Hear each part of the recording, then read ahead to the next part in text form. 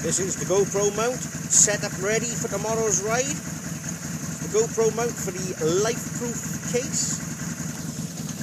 Got it uh, siliconed on here for extra stability, which it looks perfect. And he's ready for the phone to crick in and do the job. So subscribe for video tomorrow.